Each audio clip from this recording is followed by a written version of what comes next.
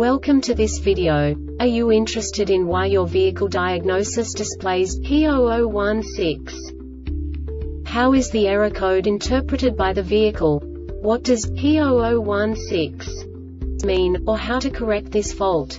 Today we will find answers to these questions together. Let's do this. First, let's look at the history of diagnostic fault code composition according to the OBD2 protocol, which is unified for all automakers since 2000. We divide the electric system of automobile into the four basic units. Powertrain, body, chassis, network. This distribution is defined in the first character code. If the second character is expressed as zero, it is a standardized error.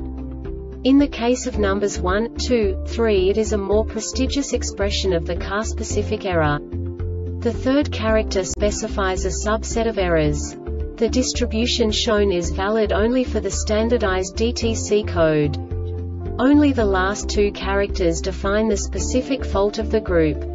Let's not forget that such a division is valid only if the other character code is expressed by the number 0. Our website airbagreset.sk produces useful videos for you. You do not have to go through the OBD2 protocol anymore to know how to troubleshoot any car breakdown. You will find all the diagnostic codes that can be diagnosed in a Mazda vehicles. Also many other useful things. The following demonstration will help you look into the world of software for car control units.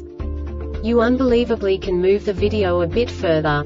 The error code is split into two bytes consisting of 16 bits. One bit is the basic unit that each computer works with. The bit has two logical states.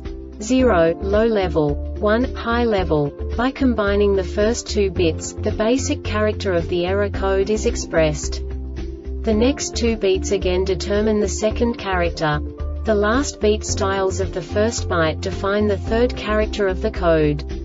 The second byte is composed of a combination of 8 bits.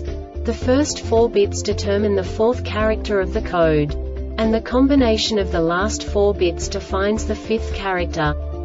A single byte conceals 256 possible combinations.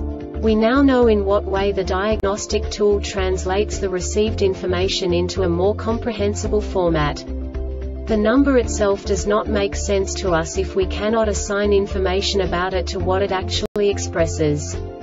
So, what does the diagnostic trouble code P0016 interpret specifically Mazda car manufacturers? The basic definition is hands-free module timeout.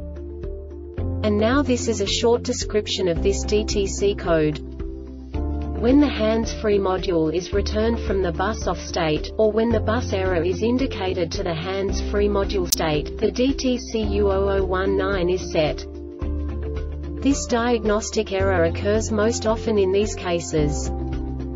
Damaged harness or connector malfunction of the CAN communication malfunction of the hands-free module The CAN bus line may be defective. The Airbag Reset website aims to provide information in 52 languages. Thank you for your attention and stay tuned for the next video.